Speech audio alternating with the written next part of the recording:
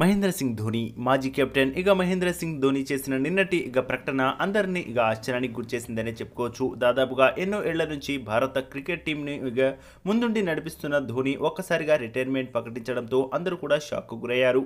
తోటి ఆటగాళ్ళతో సైతం ఇక బీసీసీఐ ఇక ఐసీసీ సైతం ఇక ఆశ్చర్యపడేలా సాన్వీయ నిర్ణయం తీసుకున్నారు ధోని.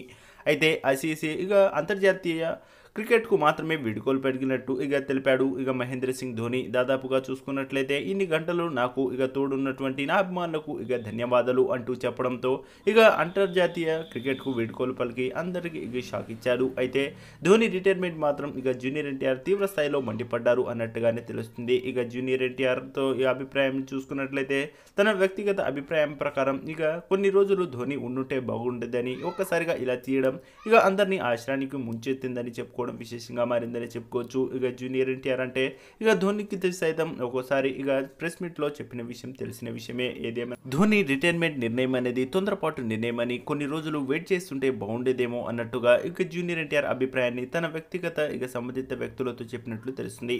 ధోని సంచలన నిర్ణయంతో ఇక బీసీసీఐ సైతం ఇక తెల్లమొహం వేసింది అంటే అతిశక్తి కాదు.